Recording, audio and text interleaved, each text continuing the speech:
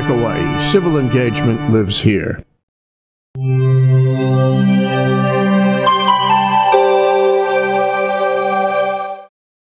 I have questions. Welcome back. It's the Cyber Underground. I'm your host, Dave Stevens. I'm here with Andrew, the security guy. Welcome, brother. Hey, it's good to be here. Good to be here, man. Give you some. Right yeah, right on. on. Do something. Another Cause some week. Trouble. Yeah. yeah. I, so uh, this week, um, so our, our host, our guest, canceled. So we got to Yeah, I hope you guys are over at UH. Brian Tuskan's in town. He's the um, director of uh, global security operations for Microsoft. Really nice guy. I had a great show with him yesterday uh, upstairs here at the, at the uh, Plaza Club. Um, we talked about sort of the future of the SOC, you know, and, and he was giving us some of what they're up to.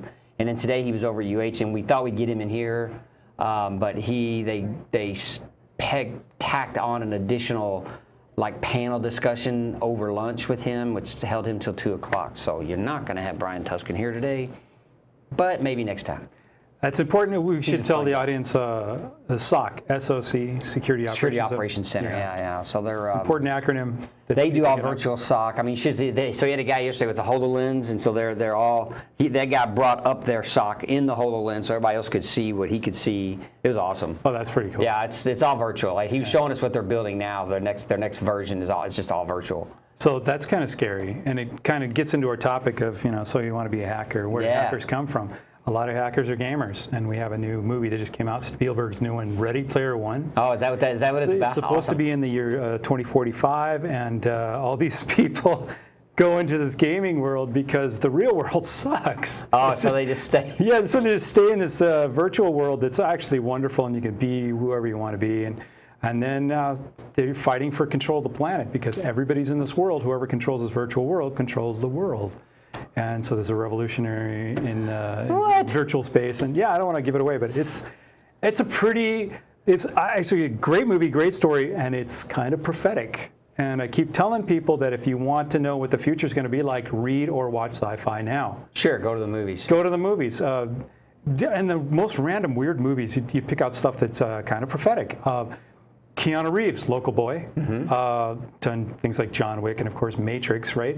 But there was one he did way back when. If you ever saw Johnny Mnemonic, Uh, I remember the name of it. I don't I don't remember watching it. Ah, he's, a, he's a courier uh, uh, that carries data. He took out part of his brain and he put something in his head to carry, like a hard drive or something. But, but there's a disease going around the planet in this movie, in this kind of dystopian future, that's caused by radio frequency, Oh, basically Wi-Fi. yeah. And uh, we now were today there's yeah there's there's there's an overabundance of Wi-Fi. In fact, a lot of people are doing voice over uh, uh, uh, IP, Mm-hmm. but in Wi-Fi, so they don't have to cable it. Mm-hmm. They're just saturating entire floors of building with as much radio frequency as you can get to get all this bandwidth, so you can do Wi-Fi VoIP calling. Mm-hmm. And I think that's personally, I think that's a bad idea. Eventually, we're going to run into something like this Black Death that Johnny Mnemonic had. I think oh, you this- think that all from the RF? I think there's going to be health Well, uh, problems. there's been a bunch of news lately about that. Now there's, there's I saw something where they said big, big data, big telecom industries has been hiding the fact that this RF is actually causes brain, you know, cancer of your brain or whatever, right? And so and they were saying that 5G, I guess the antennas are going to be quite a bit closer together, a lot more of them Oh, saturated. yeah. So we're going to be walking around just bathed in, you know, RF, and that, you know, probably what you're talking about is going to come true. You know. Well, the good news is that you know the microwave dishes that, that shoot this stuff all over the place. Uh, you know when they hit your body, they excite the water molecules and they actually warm you up. Yeah. So we'll be much warmer as we die. You- Maybe that's where the global warming is coming from. I wonder if anybody's could try to, c- co- co- what's it when you look at, uh, um, not causation, but uh, correlation, you know what I'm saying? I wonder if those are correlated things. Yeah, The microwave just heating the Causality, planet up by itself. It's not actual the, the greenhouse gases at all. you It's know? just microwave It's just, yeah, RF, you know? We're just heating up the air, and we're heating up the bodies. Well, sci-fi kind of predicts the future, and Ready Player One, I think, is um, everyone's wearing these virtual headpieces and, and going into the gaming mode. And um, I read two articles of, of differing viewpoints uh, from assistant professors at two institutions, and um, they both are in computer and psychology. So they, they Okay. do both, right? Which I think is the best way to examine this causality or maybe a hypothesis that these things are connected. Uh, one of these professors states that it is absolutely better to hire gamers to do cybersecurity. Probably. Okay, that's my first instinct too. Yeah, But then I read the counter proposal. And this person brought up some other points. So let's go through the goods and the bads. Okay. Right? And some things are obvious, right? If you're a gamer, you're obviously uh, engrossed in technology. Well, I think you also like the challenge of figuring it out because you've got to learn how to play, and you know, the, the, it changes. There's new scenes, so it's you know, I know that you replay it because you get you die and you got to. But you're a problem solver. Yeah, yeah. Right, right. By in your nature, and you enjoy it, right? You want, you like the challenge. So I think that's a good thing for. You know what else came out of the research is um, these gamers, because games inherently always have a path to win. Gamers know that. They figure it out. Not only do they figure it out, they never give up hope. Yeah. If not, they hack it. They they they, they Google. it. They'll Google it. There's a workaround. There's a key. They'll find there's the a, cheat. Yeah, Yeah, there's yeah. a cheat, right? Yeah, or, or they know somebody. In real life, though, that creates the type of person that never gives up and says, "I just can't." Oh no. There's always a way. I can script it. I can hack it. I can bust it. I can break it. I can hash it. I can do something to make this X function. So they're problem solvers, and they never give up. They always have that hope. And and Now that's not really a strategy though. Hope is just a characteristic of willpower. Let's say that. In my opinion, willpower is the thing that gets us by. Yeah. Just, just the sheer will Yes. that you will overcome Yeah. whatever so it you is. believe. Right. It's do or die. And, and I think Gotcha. gamers kind of adopt this gaming. Yeah. Right? So Of course, you, they get to get reborn too. there's a little, bad things. You get extra lives. there's a little right? falseness. I mean, in there, you know, because they know if they die, they just. I mean, they don't want to start over. I get it. You know, they want to Right, right. progress in the game. You don't lose your character. You don't want to lose your character, of course.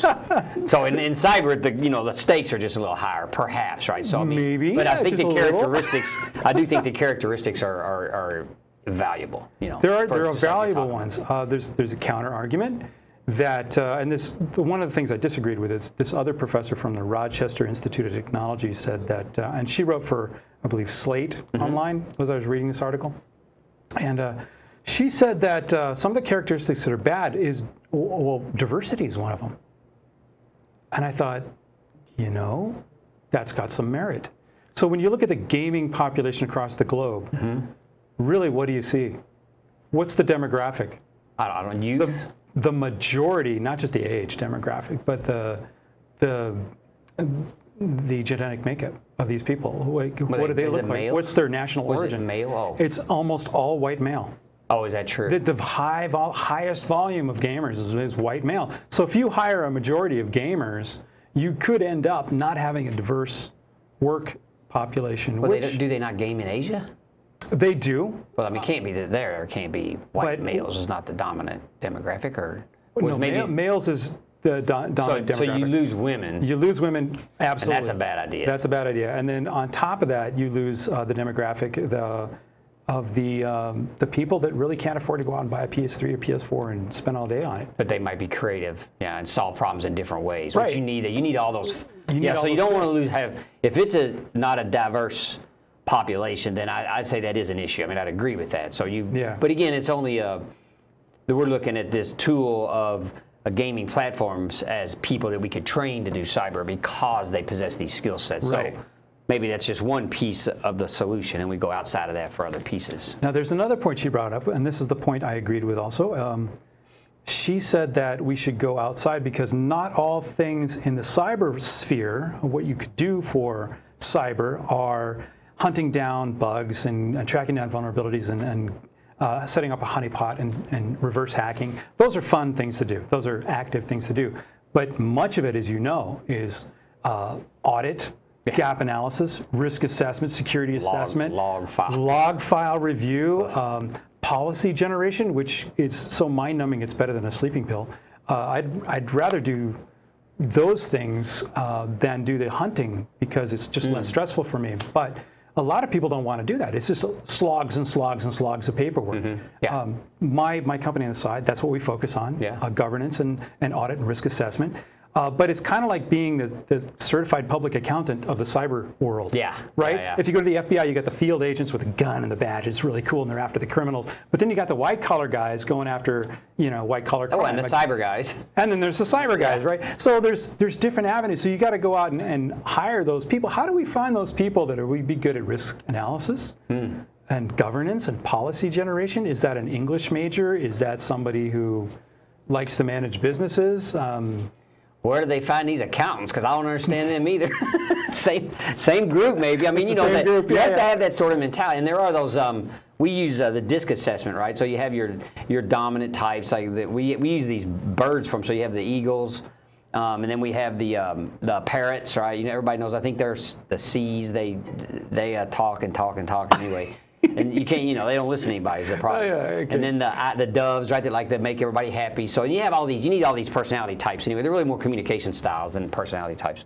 And then you have the owl. You know, the wise old owl type, who's um, that wise. I think to me that's more that accounting type, who's um, likes everything in order, and you know, because accounting's very orderly, and so Very. you need those, and you like you need those people to write code or to do code analysis, right? Because things have to be Oh, correct. code review. Yeah, no one Code wants review, to. They all just want to be the cowboy coder. Nobody wants to review Yeah, no, nobody wants to, to. They don't document their code. That's always the Oh, never. They, oh, right? I'll, I'll document this when I'm done. Yeah, yeah, yeah, right. And so there's, there's that, you know. So there's, I mean, you need all those types, I would presume. And I, I, you know, there's as many types of uh, attacks as there are, right? People need, you need all those different types of brains thinking about how can they come after me? Where's the next hole? And then somebody, you know, the guys that are just, oh, let's go looking, right? The hunter guys, those are cool, but they're probably impetuous.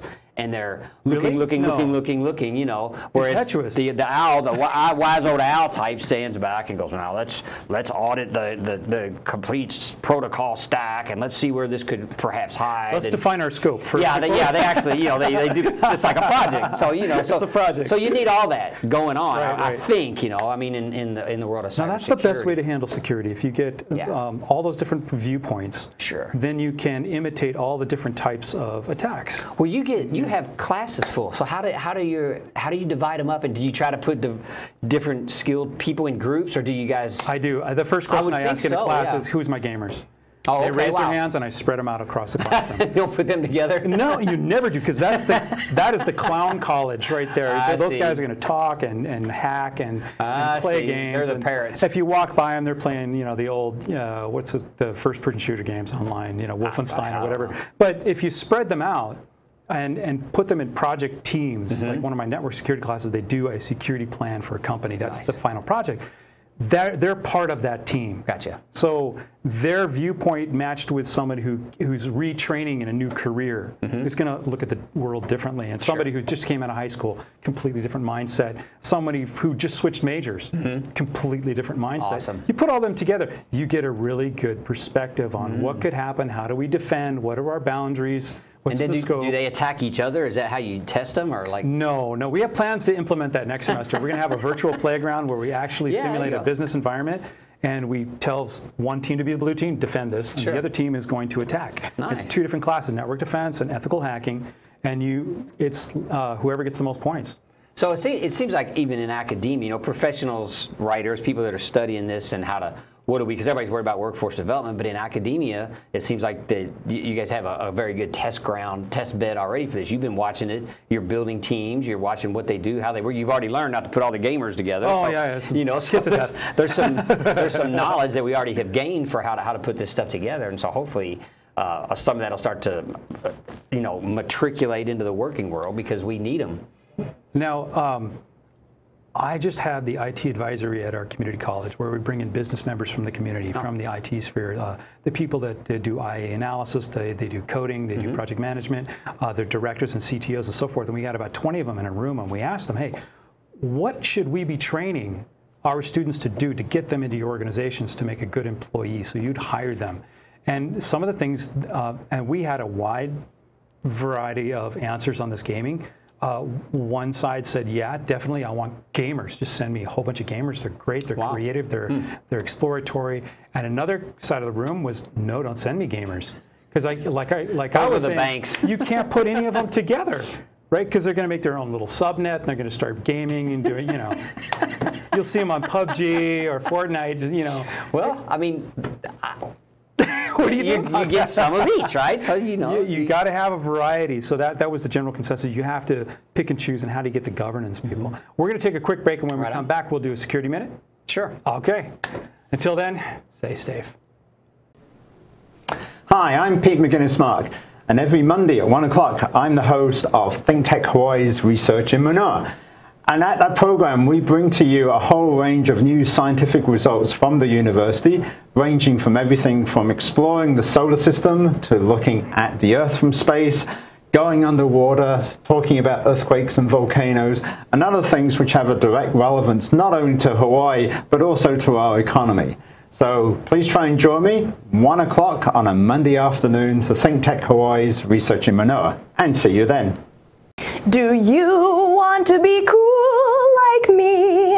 If so, watch my show on Tuesdays at 1 called Out of the Comfort Zone.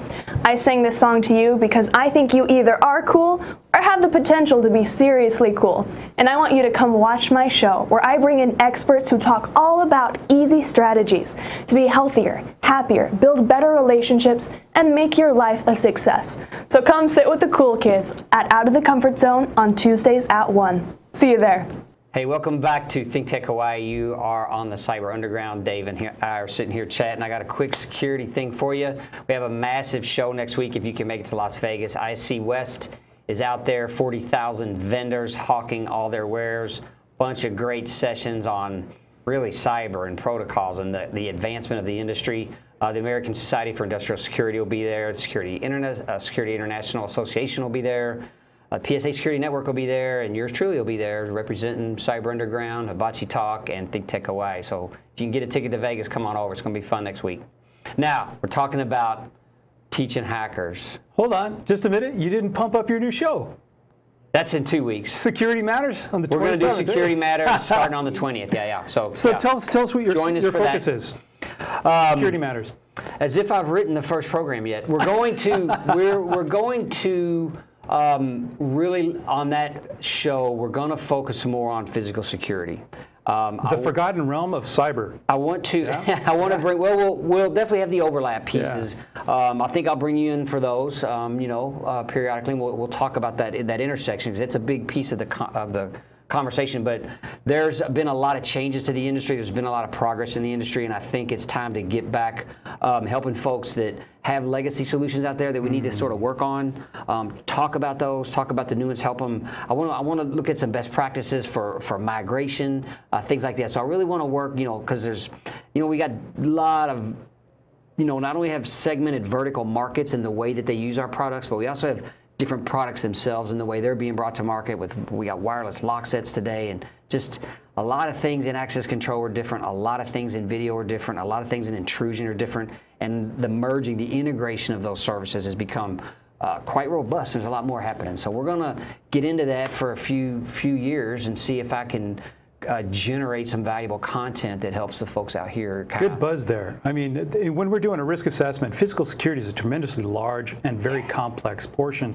of a risk assessment, and Mm. the gaps identified usually go to an offshoot, uh, another part of the management team for facilities. isn't that something It, th- you know, we're not merging the security teams, and I think this is an incredibly important show. I think you're doing a great thing. Yeah, we and we had we uh, encourage that. Uh, uh, all the stuff I was doing earlier this year was all about that that actual. You know, we've been everybody's been talking about it for 20 years. The convergence of IT and security. It's like really, like it happened. You guys all just missed it, right? It's Right. but but many organizations sure haven't adopted it yet, and so Yeah. that talking about that as well is going to be a piece of what we do. We've got to get the get the culture changed. You know, we got got some things. Not all technology, it's people too. So.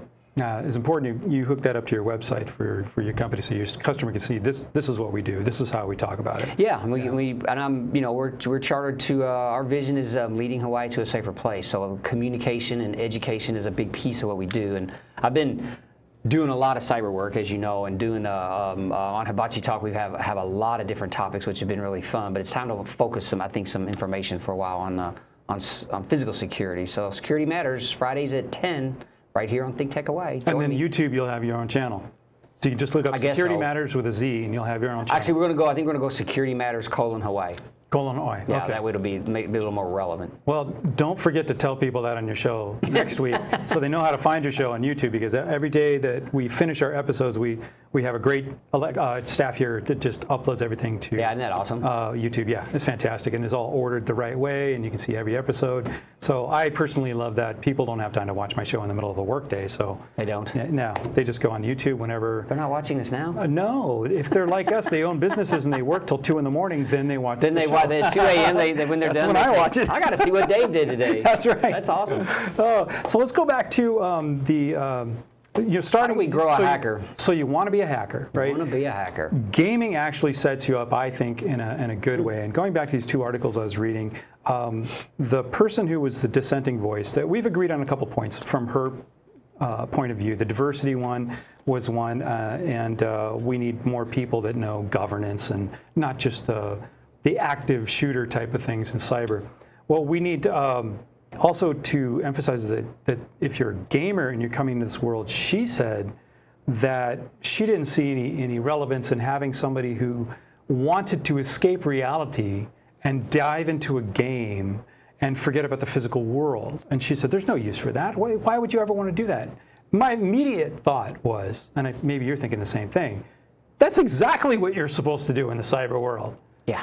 because everything's in binary. You have to imagine yourself as in the matrix, so to speak, right? You have to put yourself into a different reality and imagine all these connections because you you can look at a network map and you can look at uh, you know Wireshark and and and see your, your Port map, packets. sure. you can see packet analysis, but you have to imagine what's going on. You have to and you have to imagine what other people can see and how they can exploit it. Exactly. You know. It, takes- it takes a lot of imagination. I think gamers have that imagination. Sure. They are willing to suspend physical reality and go into a virtual sphere, a gaming environment, and understand completely new rules.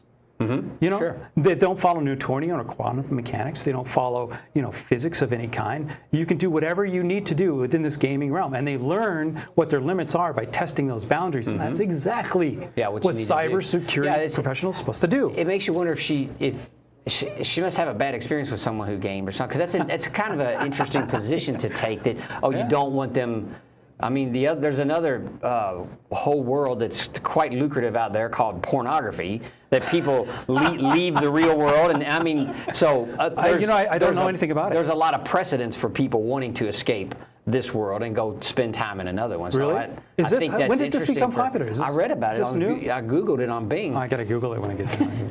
The, uh, you Googled it on Bing. the uh, that's I took that from Gordo. The uh, the uh, or he binged it on, on You binged it on or something. I don't know what he did. but um, but you know I just think there's I just think that that that ability to get away. I mean we talk about meditation. That's a great thing, and that is that is leaving this behind. I don't I mean I don't have to go occupy myself in another game, but calming the mind is a is a practice, right? So I I, I, got, I take issue a little bit with her saying you know that you don't want people that want to escape reality. I don't, I don't get it. It might be the kind of person, well, she might be the kind of person in my mind that uh, thinks about meditation and thinks, oh, that's hokey because she's thinking, oh, you're doing astral projection or something. But you're just calming down, and listening to your, your own breathing for a minute, Yeah, and man. just That's putting so everything out of your mind. Uh, I tell my students a lot, they're very stressed in my class because I work them hard. I tell them every once in a while, just do your Zen thing.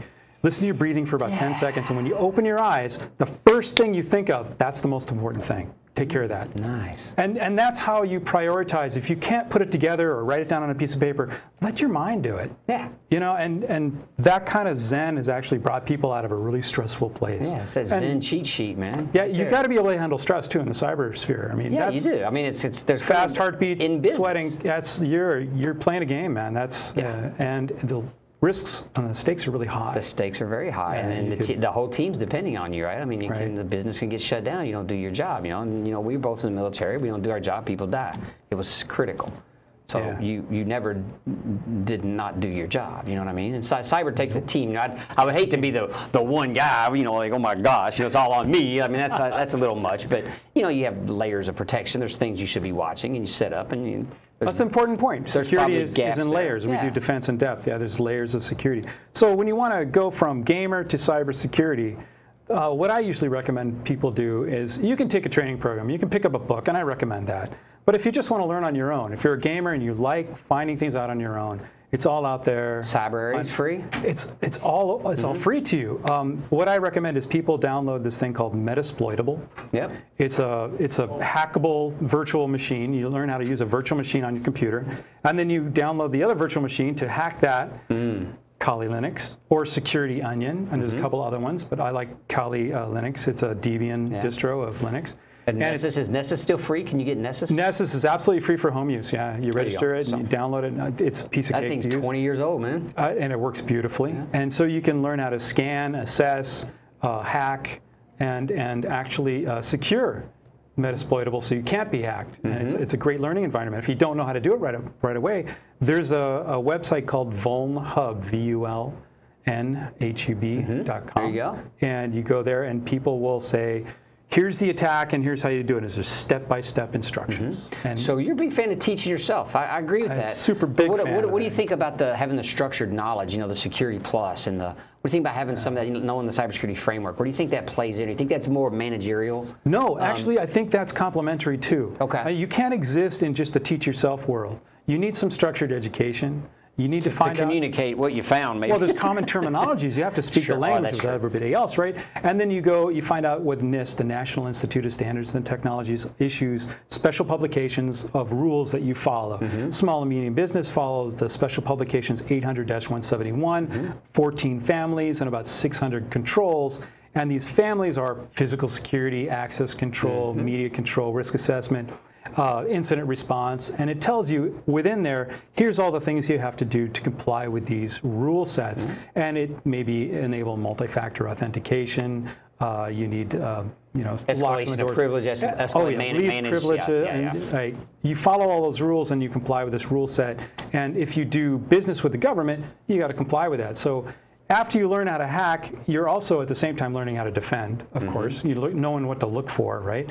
But then you go and you look at some of these rule sets, and now you know why Mm-hmm. everything you're doing is important and how you're supposed to implement it. And then a structured education, I think, brings to bear two other things. One, the instructor's bringing his experience, his or her experience, to, to bear, right? Right.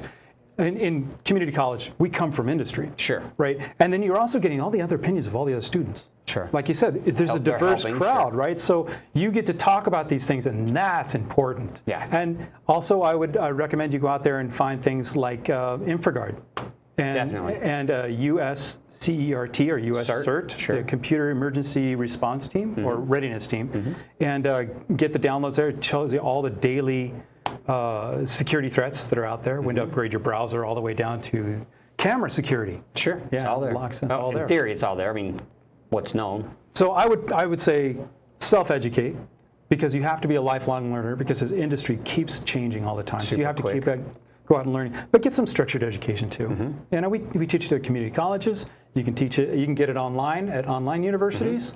Um, and for the military, they get it for free. Yeah. And then, uh, of course, you talk and you participate in part of the community. That's true. There's find, find like InfraGard's a great group that we have here. There's there's other people out here working uh, in the community. There's the um, Hats Kids, and there's a lot of different Hawaii groups that Advanced Technology. Sure. Society, yep. Yeah, yeah, they Yep. come on. So you know, Once a month. Call Dave. yeah, give me a He'll call. put you right in the loop. There's uh, Cyber Hawaii. They brought Brian to town. So Give us give us 10, 10 more seconds before we go here about your show coming up on April 27th. Yeah. Uh, we'll do the first episode April 20th. It is called 20th. Security Matters Hawaii, and uh, we're going to be talking about physical security and trying to um, share some best practices and uh, help folks out out there. All right. Thanks for coming, brother. Thanks, man. Appreciate it. Good fun. Aloha. All right, everybody. Thanks for joining us. We'll be back next week with another exciting episode of the Cyber Underground. Until then, stay safe.